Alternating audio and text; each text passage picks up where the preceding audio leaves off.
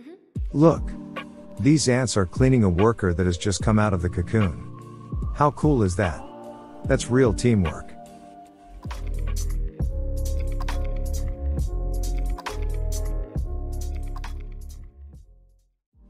Hi guys. Hope you're doing well. Welcome back to the Bruma Ants channel. In this video we're going to see how my Formica colony is doing, examining all the progress they made from the last update. If you are new to the channel, or you simply don't remember the last update, don't worry. Let's make a quick recap of the history of this colony. I caught the queen back in the summer of 2020, just right out of my back door. Hmm, I don't know why, but it doesn't sound right.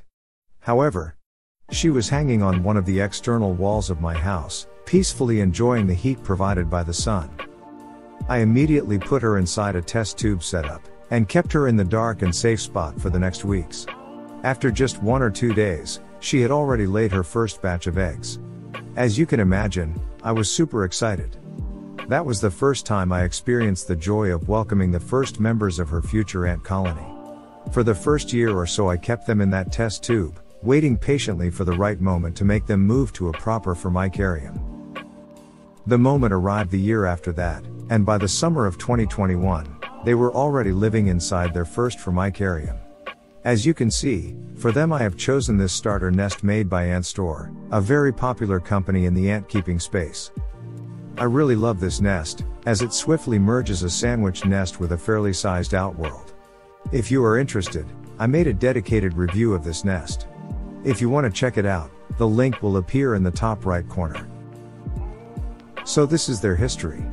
Seeing a colony grows from just a single queen to a giant ant empire, gives the ant keeper an incomparable sense of satisfaction. Not so long ago, I decided to expand their setup, as their old nest was starting to become extremely crowded for them. I connected an extremely cool tube spiral and a Y-tong nest I made some time before to their setup, providing the colony with a brand new home to inhabit. I can confidently say that they truly love their new setup. They run up and down the tube all day long, transporting the food from the ant store outworld to the Y-tong nest. As you can see, I replaced the DIY tube spiral with a more normal straight tube. I was forced to do that in order to clean all the mess and the trash they were accumulating inside the spiral. They got to the point where the trash pile in the tube was so dense, that was making it very hard for the ants to simply travel from one end to the other. Not at all a clever move. I'm planning to give them a second chance with the spiral, hoping that the next time they will be a little tidier. During the shooting of this video, I caught on camera some extremely interesting ant behaviors. The first one regard the process of creating a cocoon, starting from a naked larva. As you can see, these two workers are trying to cover some of the larvae with what seems to be some type of sand. Strange behavior, isn't it? As you probably already know, different species of ants may have slightly different life cycles. Let's start with the standard one. The normal ant life cycle consists of four main stages the egg stage, the larva stage, the pupa stage, and the adult stage. However, not all species of ants are made equal. There's one phase of the ant life cycle that usually differs from species to species, and that's the pupa phase. A lot of species, probably the majority, pass this important phase inside a cocoon. The larvae of these species like to spin a cocoon, right before entering the pupa phase. I think they probably do that to protect themselves from any potential external threats, creating a sort of temporary shield in order to complete their development. Other species of ants, like for example Messor barbarus or Crematogaster scutellaris, don't use this shielding system. Instead, they opt for a simpler strategy, the so-called naked pupa. The workers that you see in the shot are helping the larva spin her cocoon, giving her some additional anchor points. Another cool shot I got is this. As you can see, these ants are cleaning a worker that has just come out of the cocoon. How cool is that? That's real teamwork. If you look closely, you can notice that the exoskeleton of the young worker is of a very light color, and it seems almost transparent. That's because after being in contact with air for the first time, the exoskeleton takes some time to harden and darken. Very cool, don't you think? Now let's talk about the future. I have great plans for this colony.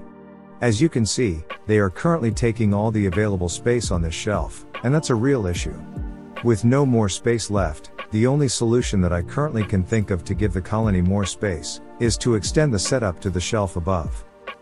That would create a massive two-story setup, and would give the ants all the space they need. To make the ants climb all the way to the top shelf, I was thinking of using some type of tube spiral, very similar to the one that they already have to connect the two nests. With this system, they will easily be able to travel from one shelf to the other, gathering the food from one floor, and taking it all the way to the other. And you? What do you think? Do you have any suggestions or ideas on how I could expand the setup? Feel free to leave a comment. Luckily for me, I'm not in a rush to expand the setup, at least not for now. They still have a lot of free space inside the Y Tong nest, and the sandwich nest is not completely filled up either. I hope the colony is going to slow down a bit their development, just in time to fill all the available space inside the nests right before hibernation. If that will turn out to be the case, I will have all the winter to build their new setup, maybe with a new Y Tong nest and a long spiral staircase.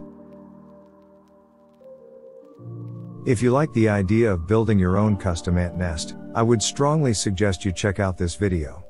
In this one, I explain in detail how to make a Tong nest from scratch. See you soon in another video.